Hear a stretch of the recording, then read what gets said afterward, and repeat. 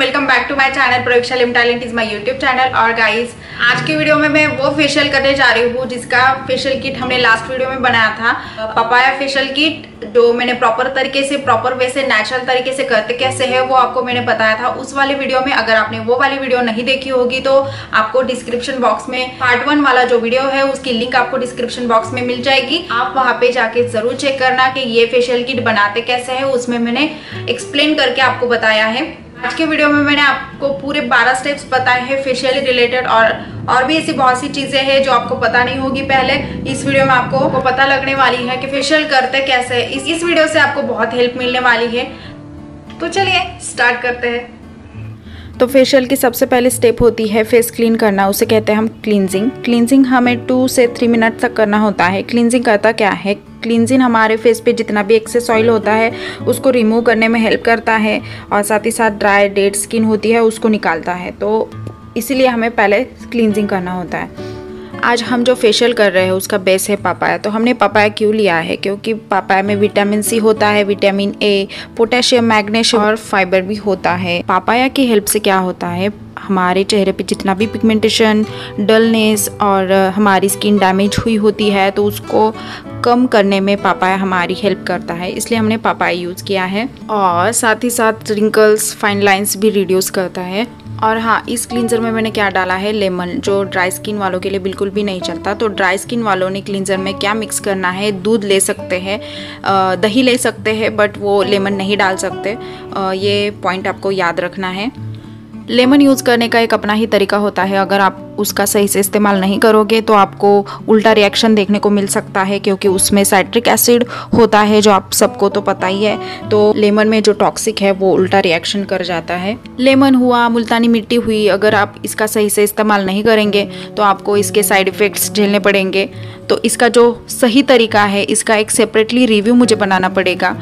उसको यूज़ करना कैसे है, उसके जो बेनिफिट्स है, वो आपको लेने कैसे है, वो मैं आपको उस वीडियो में बताऊँगी। वो ज़रूर वीडियो में आपके साथ शेयर करूँगी। क्लिनजिंग से होता क्या है? धूल, मिट्टी डेड स्किन और एक्सेस ऑयल सब कुछ निकल जाता है। After cleansing second step scrubbing होती है, जो डर्ट पार्टिकल्स ओपन पोज में से रिमूव करता है और हमारे फेस पे जितने भी ब्लैक और वाइट हेड्स होते हैं, उनको भी रिमूव करता है। स्किन भी सॉफ्ट करता है और रिलैक्सेशन भी मिलता है।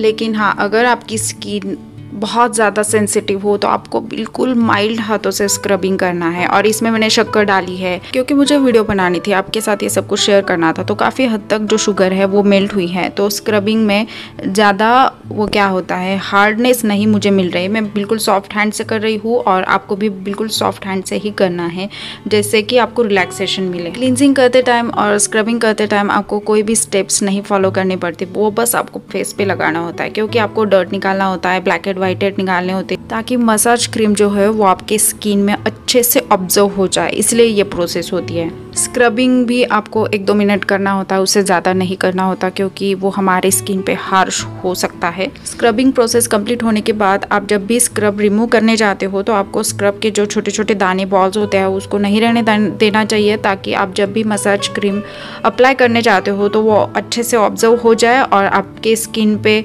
मसाज करते टाइम कोई हार्श ना हो, कोई रेडनेस ना आए तो इसलिए आपको स्क्रब नहीं रहने देना चाहिए। ये बात आपको हमेशा याद में, ध्यान में रखनी है।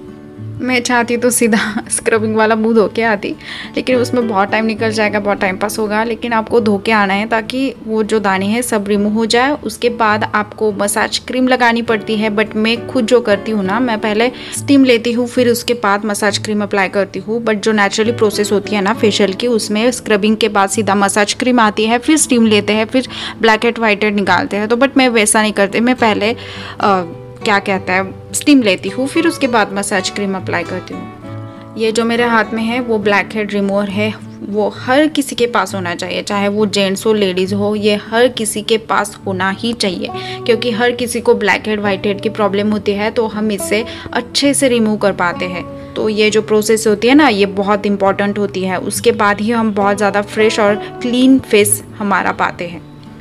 तो फाइनली जो इम्पोर्टेंट स्टेप है थर्ड वाली मसाज वो हम करने जा रहे हैं।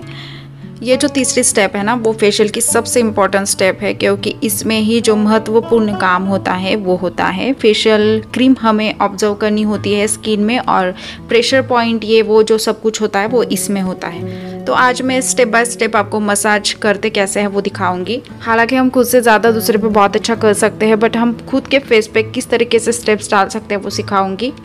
तो step number one lifting of the cheek ये जो स्टेप है, इसमें आपको क्या करना है? अपने चिक्स को ऊपर की तरफ़ लिफ्ट करना है। जैसे मैं कर रही हूँ, आप देख सकते हो। ये आपको हल्का सा प्रेशर दे के करना है। स्टेप नंबर टू बल्कि ये जो सभी स्टेप्स हैं ना, इनको आपको हल्का सा प्रेशर देके ही करना है। एक्चुअली हम जब भी मसाज करने जाते हैं ना मसाज क्रीम अप्लाई करने जाते हैं तो स्टार्ट हमें चीन से ही करनी होती है। वहीं से नॉर्मली शुरुआत होती है बट मैं खुद का कर रही हूँ, खुद का करने जा रही हूँ तो उसमें कौन से और कैसे स्टेप डालेंगे ना?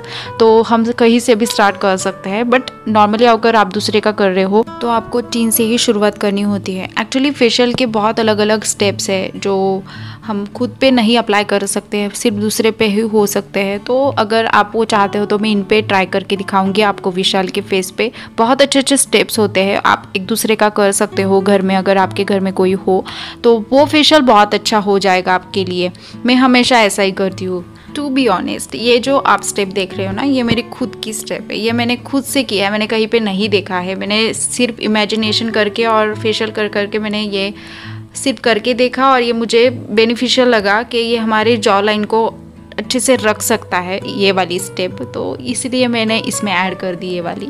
और मैं फिर से लिफ्ट कर रही हूँ अपने चिक को। स्टेप नंबर फोर में मैं फिर से ओपन फिंगर से ऊपर की तरफ़ लिफ्ट कर रही हूँ चिन को प्लेन प्रेशर दे के स्टेप नंबर फाइव इसमें आपको क्या करना है? अपने फोर हेड पे आ, बिल्कुल मेरे तरीके से हमारे दोनों भी हाथों की इंडेक्स फिंगर जो है, उनकी हेल्प से आपको क्रिस क्रॉस मोशन में हल्का सा प्रेशर देके आपको ये स्टेप करनी है। हर एक स्टेप करते समय आपके हाथ में, उंगलियों में नॉर्मल सा प्रेशर होना चाहिए ताकि जो प्रेशर पॉइंट्स है, वो दब जाए और हमारा ब्लड सर्कुलेशन अच्छे से हो।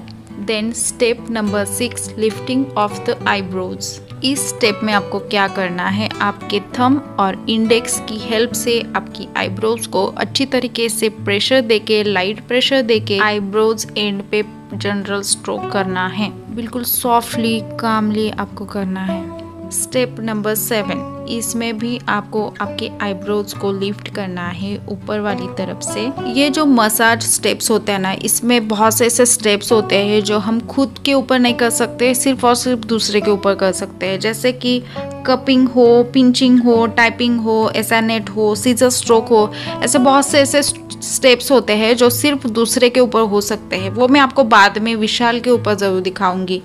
हर एक स्टेप होती है ना, उसके पीछे कोई ना कोई रीज़न होता है। ऐसा नहीं हो के हम कर रहे हैं और हमें रीज़न ही पता ना हो। अब ये देखो स्टेप नंबर एट इसमें हम क्या करने वाले हैं? अपनी रिंग फिंगर की हेल्प से बाहर से अंदर की तरफ़ क्लॉकवाइज रिंकल के अपोजिट हमें ये स्टेप करनी है। बिल्कुल वैसे जैसे मैं कर रही हूँ और यही फिंगर क्यों? क्योंकि इसमें ज़्यादा प्रेशर नहीं होता। ये बहुत हल्का काम करती है। हमारा आई एरिया जो है, बहुत नाजुक होता है। उसमें हम ज़्यादा प्रेशर नहीं डाल सकते। इसीलिए हम रिंग फिंगर ही यूज़ करेंगे। और मैं आई बॉल्स के ऊपर हमारे आई लीड पे क्रिस क्रॉस मोशन में ये वाला स्टेप भी कर रही हूँ। ये भी बहुत इंपॉर्टेंट है। इससे क्या होता है, हमारे आईज़ को रिलैक्सेशन मिलता है। बहुत अच्छा स्टेप है वो भी। बल्कि ये सारे स्टेप्स जो है ना, वो बहुत इंपॉर्टेंट है हमारे स्किन के लिए, क्योंकि इससे जो प्रेशर हमारे स्किन पे पड़ता है ना, हर एक पॉइंट पे जो प्रेशर पड़ता है, इससे ब्लड सर्कुलेशन सही से होता है। जो होना चाहिए, होना बहुत ज़रूरी है स्किन के लिए, उससे हेल्थ बढ़ती है तो ये मिनिमम मंथ में एक बार तो ज़रूर करना चाहिए। ये वाली स्टेप भी जो आप देख रहे हो ना, ये आपको हमेशा करनी चाहिए। कोई भी इसेंशियल ऑयल कोई भी जो इम्पोर्टेंट ऑयल होता है हमारे स्किन के लिए, उसको लगा के ये हमेशा करनी चाहिए, जिससे हमारी जॉ लाइन हमारी चीक हमारे फेस का शेप अच्छा बना रहे। तो ये करना चाहिए आपको हमेशा। स्टेप नंबर ग्यारह। ये स्टेप सिर्फ़ वही लोग कर सकते हैं जिनके नाखून नेल्स बड़े ना हों। मेरे बिल्कुल भी बड़े नहीं हैं क्योंकि मुझे कुकिंग करनी पड़ती है बेबी संभालना पड़ता है तो इसलिए मैं नाखून नहीं बढ़ा सकती। ये मेरे खुद की स्टेप है, मेरी ओन स्टेप है। इस स्टेप में मैं क्या करती हूँ? मेरे पाँचों उंगलियों का यूज़ करके क्लॉकवाइज अंदर की तरफ़ से बाहर की तरफ़ जाके स्किन को लिफ्ट करती हूँ। इससे ब्लड सर्कुलेशन और भी अच्छा होता है, ऐसा मुझे लगता है। स्टेप नंबर बारह। एक्चुअली ये स्टेप नहीं है, ये प्रेशर पॉइंट्स है। इसको आपको हर एक दो स्टेप्स के बाद करना होता है। लेकिन ये मैं आपको सेपरेटली क्यों बता रही हूँ? क्योंकि मैं स्पेशल करते टाइम आपको सिखा भी रही हूँ तो इसीलिए मैंने इसको सेपरेटली लिया है बताने के लिए। ये जो मैं आपको दिखा रही हूँ ना, ये प्रेशर पॉइंट्स है। जैसे कि मैंने स्टार्ट कहाँ से किया है? Centre of the eyebrows guys please मुझे अभी इग्नोर करो। मैं बहुत गंदी लग रही हूँ, ऐसा मुझे लग रहा है अभी। पापा, कहाँ कहाँ लगाया मेरे ड्रेस पे? मैं कितनी गंदी लग रही हूँ। लेकिन फिर भी आप इग्नोर करो, क्योंकि मैं आपको सिखाने की कोशिश कर रही हूँ और इसी वजह से शायद मैं इतनी डर्टी हुई हूँ। प्लीज़ इग्नोर करो यार। हाँ तो मेरा पहला प्रेशर पॉइंट कहाँ पे है? हेयर लाइन पे। सेकंड वाला सेंटर ऑफ़ द आईब्रोज तीसरा कहा था टेंपल एरिया में, जैसे कि आईब्रोज के एंड पे। और फिर centre of the ears down of the ears इस तरीके से हम प्रेशर पॉइंट दे सकते हैं हमारे फेस के ऊपर। और ये आपको कब कब देने हैं? जब आप एक दो स्टेप करते हो उसके बीच में आपको फिर से प्रेशर पॉइंट देने हैं। फिर दूसरे स्टेप्स करने हैं। फिर आपको प्रेशर पॉइंट देना है। इस तरीके से आपको फेशियल करना होता है। अब मैं रिमूव कर रही हूँ। मेरा फेशियल क्रीम ये आप ग्लो देख रहे हो? मेरा जो फेस है, वो चमकने लगा है, आप देख सकते हो। वाइट लग रहा है और चमक भी आई है एक अलग ही तरीके की।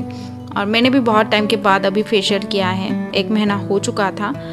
अब मैं फेस पैक लगा रही हूँ। मैंने फेस पैक कैसे बनाया था, आपने देख ही लिया है प्रीवियस वीडियो में। मुल्तानी मिट्टी का यूज़ किया है मैंने। और अगर आपकी ऑयली स्किन हो ना तो आपको सिर्फ़ मुल्तानी मिट्टी लगानी है, अगर एक्ने हो तो उसमें आपको हल्दी मिलानी है और अगर बहुत ज़्यादा ड्राई स्किन है तो आपको इसमें मलाई डालनी है। दूध वाली जो मलाई होती है ना, वो डालनी है आपको।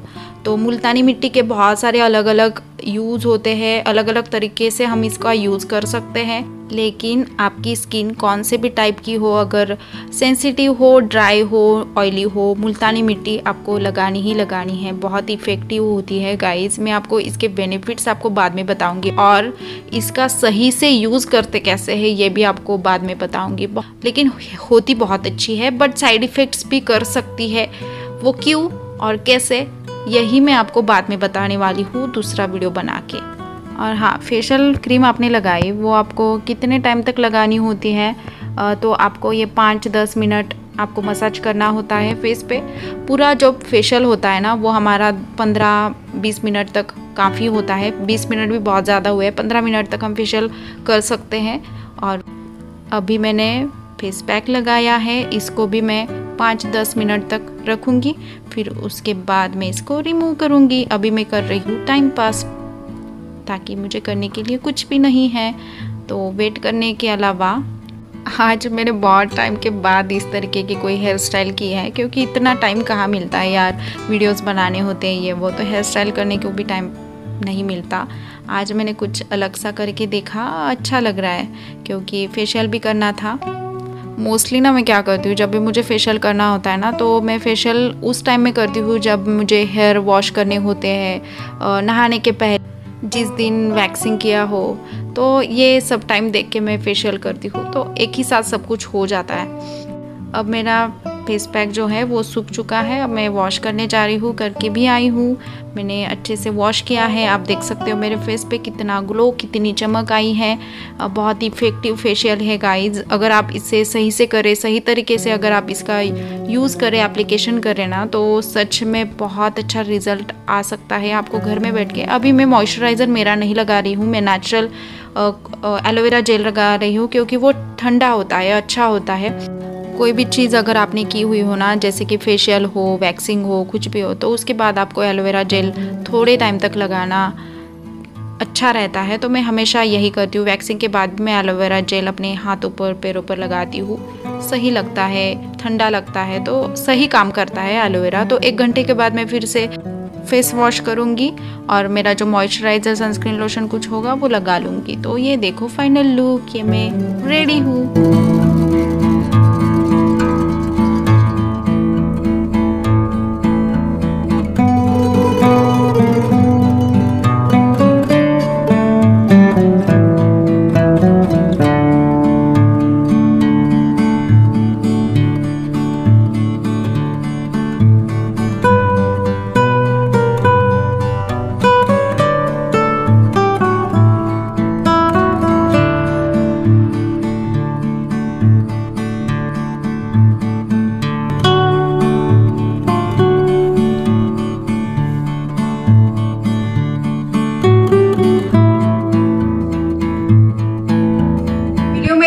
ये फेशियल करने के बाद मुझे मेरी स्किन इतनी ज़्यादा सॉफ्ट लग रही है और बहुत हाइड्रेटिंग स्किन लगती है सॉफ्ट लगती है शाइन आई हुई लगती है और बहुत सॉफ्टनेस होती है हमारी स्किन में। तो बहुत अच्छा रिज़ल्ट है इस फेशियल से।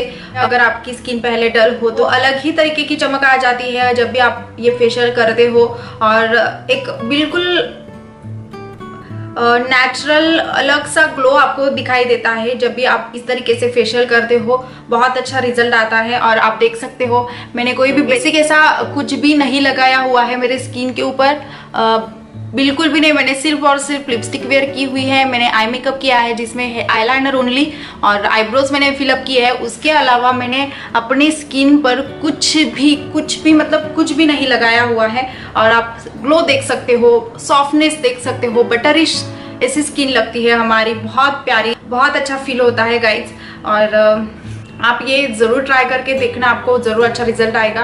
और मैं और मैं आशा करती हूँ कि आपको मेरा ये वाला भी वीडियो अच्छा लगा होगा। अगर अच्छा लगा होगा तो मुझे कमेंट सेक्शन में फीडबैक ज़रूर देना है और नहीं भी तो भी बताना है। तो तो मिलते हैं मेरे नेक्स्ट वीडियो में, जिसमें मैं आपको बताऊँगी कि मैं अपना स्किन केयर रूटीन बताऊँगी, मैं अपने स्किन की डेली केयर कैसे करती हूँ, वो बताऊँगी और वो भी वीडियो आपको बहुत हेल्पफुल रहने वाला है।